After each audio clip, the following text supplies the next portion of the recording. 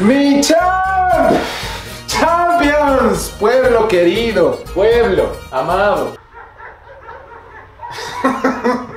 Me imagino llegar como político, ¿no? Pero, pero, pero pueblo querido. Y muchos se preguntarán, pues, ¿por qué estamos haciendo casi 9, 10 de la noche fanesca? Pues sí, cuando la gente me preguntó cómo preparaba yo la fanesca, le expliqué y se me burlaron. ¿Por qué te me burlas, mi champ? Si yo soy tu fuente confiable de conocimiento ecuatoriano. ¿Por qué no me tienes fe?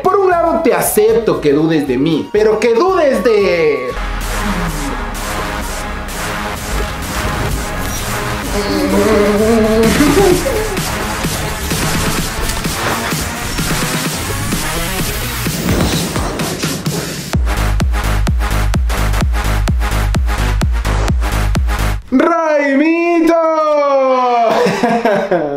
Raimito nunca dudes. Duda de cualquier otra persona, pero de Raimito no dudes. Eres tu fuente confiable de conocimiento ancestral ecuatoriano.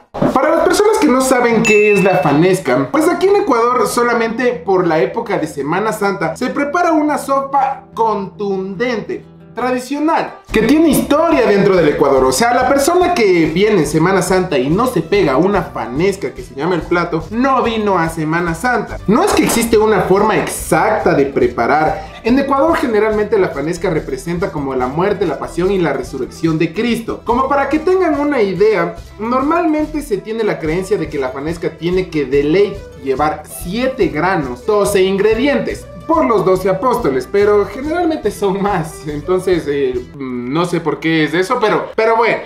Y la verdad sea dicha, no es que existe una forma específica en preparar fanesca, porque cada sí, cada mamá, cada abuelita, cada tía tiene su sazón. Y yo tengo mi sazón. Así que no puedes decir, ah, esto está mal, y que ni sé qué, y que tu fanesca vale.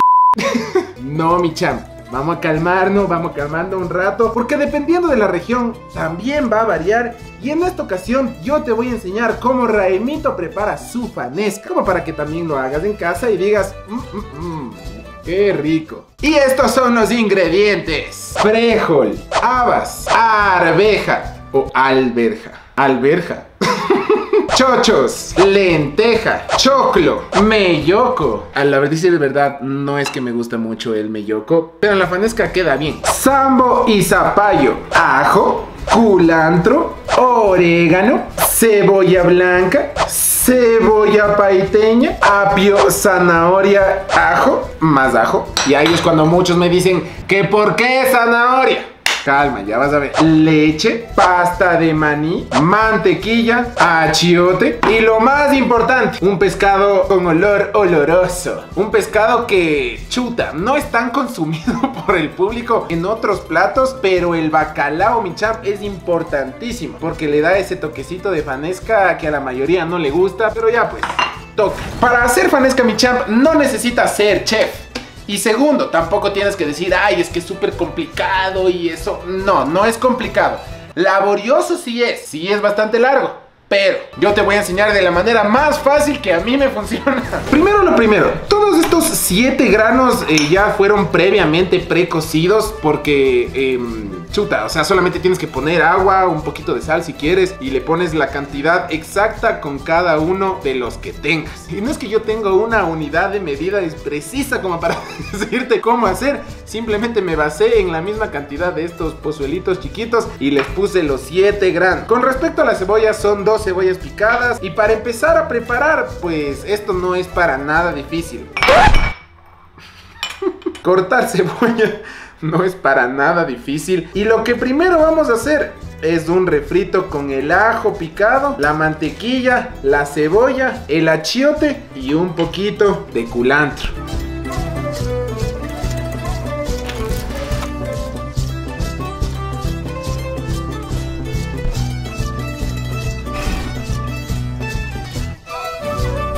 Después de que aproximadamente todo este refrito esté listo, nosotros podemos agregar los granos con su agua. Cada uno distinto, no sé, el orden, lo que quieras. Hay mucha gente que le pone el chocho al final, el choclo al final. Yo le pongo todo ahí mismo. No, no te compliques. Es una fanesca simple como para cuatro personas, cinco, seis, no sé.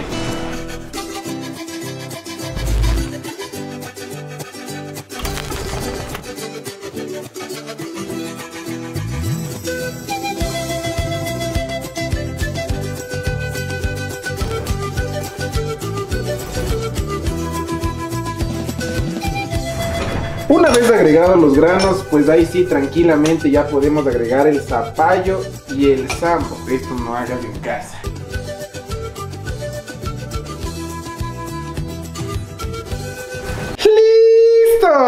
Y dejamos cocinar hasta que ya el jugo del zapallo y del sambo aproximadamente ya suelte su sabor, suelte su jugo. Pero eso sí, ojo, tienes que estar revisando constantemente, mi chamo. Ay, me olvidé del achiote. Clase de cosas pasan, eh, le tienes que poner con la mantequilla mientras que está friéndose, pues eso sí es muy importante, no te olvides. Cosas que pasan mientras grano. Mientras que los granos están cocinando y soltando su jugo con el zapallo, tú tienes dos opciones. Antes de preparar el bacalao, pues obviamente lo tienes que cocinar. Pero como suele ser un pescado extremadamente fuerte, pues lo más recomendable es que durante 24 horas tú estés cambiando el agua en un periodo de 8 horas. Es decir, cada 8 horas le cambias el agua, le vuelves a poner agua, como para que no sea tan fuerte. Y una vez que ya han pasado esas 24 horas, pues tienes que cocinar el pecadito. Como me imagino que mucha gente debe decir que en el caso que salga un poquito, un poquito aguada la, la fanesca, pues tranquilamente hay un secreto igual que tú puedes mezclar un poquito de leche con pasta de maní para que la fanesca también tenga un sabor, pero eh, no se le siente tanto el maní, esto es opcional, hay mucha gente que solamente le pone más agua y está hirviendo con los granos, pero a mí me gusta ponerle manicito. Me gusta ponerle manicito con pasta de maní.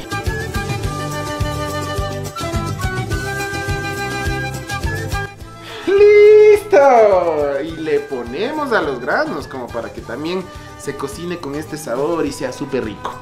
Uf, vean esa belleza.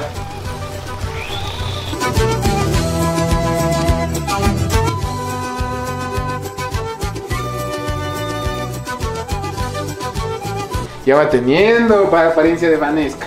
Y ahora sí, para los que dudaron del por qué había zanahoria en esta fanesca, ponemos el resto de mantequilla en el sartén caliente. Se le pone la cebollita paiteña, dejamos que se dore, ponemos el apio, los tres ajos y la zanahoria. El oreganito, así ve, pero como queriendo, como queriendo, mi chamba. Lo doramos por unos segundos le ponemos toda la sal que no le hemos puesto a los granos. Le mandamos a la licuadora con agua y licuamos. ¡Sí! Licuamos. Y le ponemos a la mezcla con granos, mi chamo. No nos complicamos. Este es un refrito que aprendí de la abuela de mi mejor amigo. Sí, ¿para qué? Él me dio el top secret y yo lo comparto con ustedes.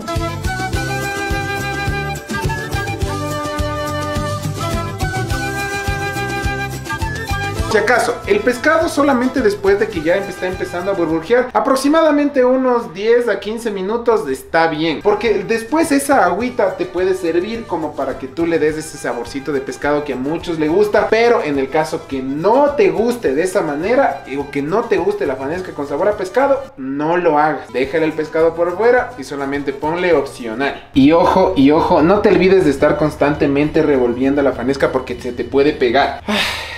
¿Quién no me ha de haber tenido fe? No, no huele estas delicias de la vida. Pero bueno, hasta que ya se deshaga absolutamente todo el sambo, todo el zapallo y también te quede una consistencia relativamente espesa, tú le puedes dejar ahí y aprovechar el tiempo para los complementos, que es algo que, uff, qué rico que se come en Ecuador. Otra cosa muy importante es que la razón por la que pusimos la mitad de culantro al principio es como para poner la mitad del culantro después como para que le dé ese toquecito igual que a mí me gusta, pero es opcional. Se le pone e incluso también con un poquito de orégano, pues igual, válido. Recuerden que esto no es exacto, simplemente es una opción más como para que tú puedas preparar.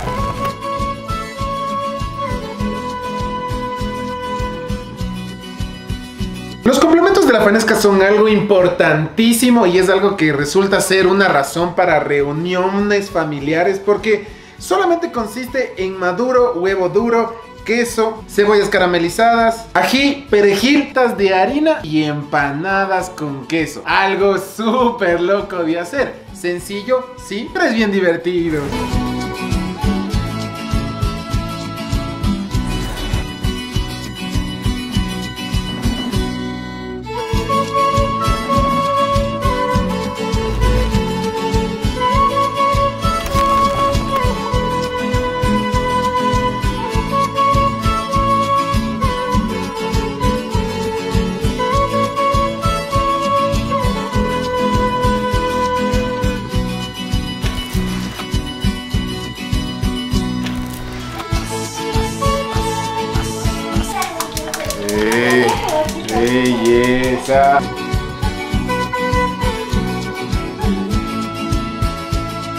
Obviamente tiene que ir con los complementos, las empanaditas, el madurito, los quesitos, la cebolla acá.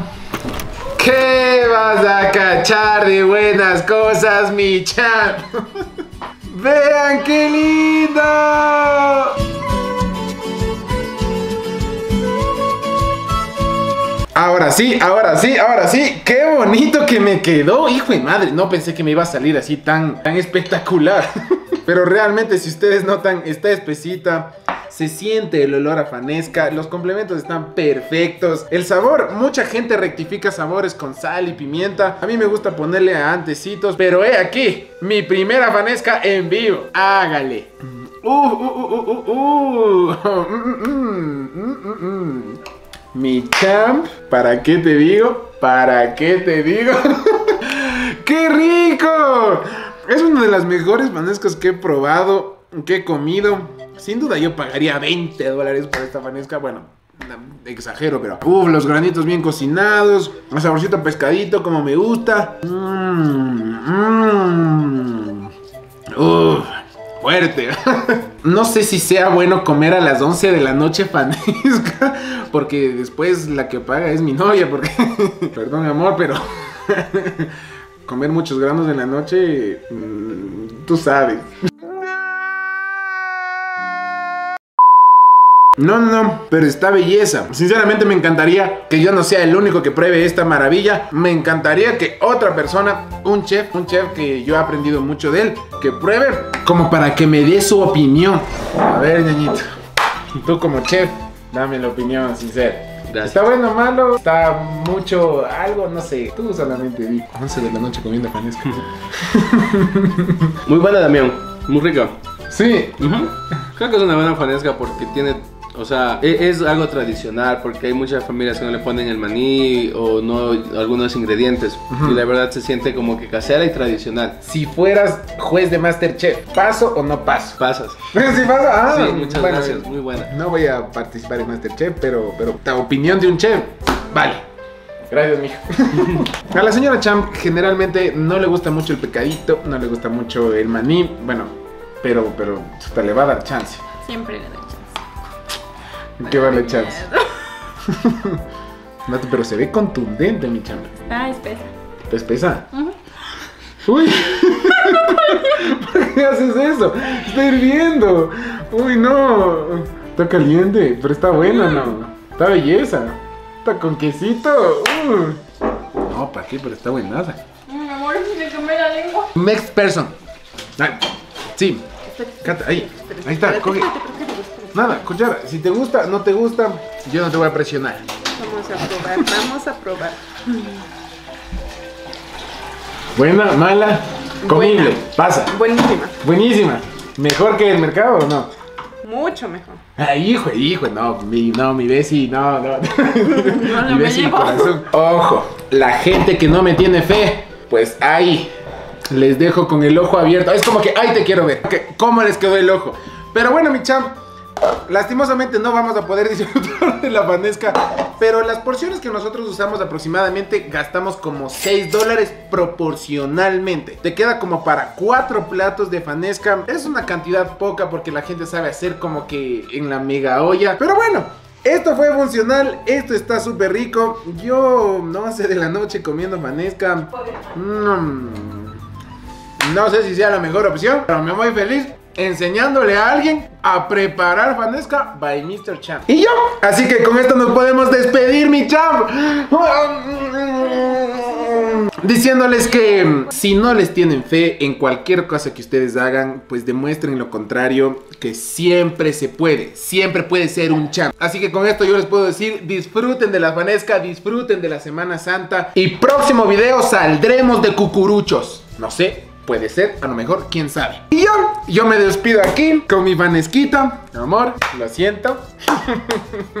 Pero muchos granos ya están en mí.